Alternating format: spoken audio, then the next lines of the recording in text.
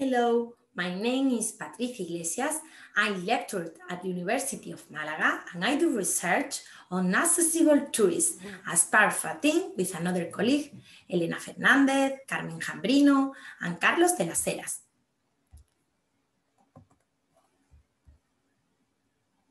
This video introduced the paper published by Tourism Review entitled Digital Accessibility of Smart Cities, Tourism for All and Reducing Inequalities, Tours Agenda 2030.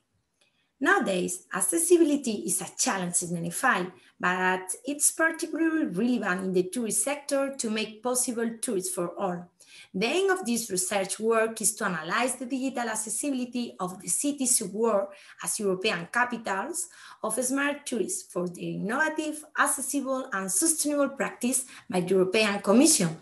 We have carried out an analysis of the digital level of accessibility of 50 web of these European cities. The analysis followed the international evaluation requirement of the World Wide Web Consortium. Accessibility has been extensively analyzed, but the equation between the digital and the physical dimension has been less much studied. Therefore, this paper introduces a new insight into the key issue of digital accessibility, which can promote destination choice and influence the tourist experience.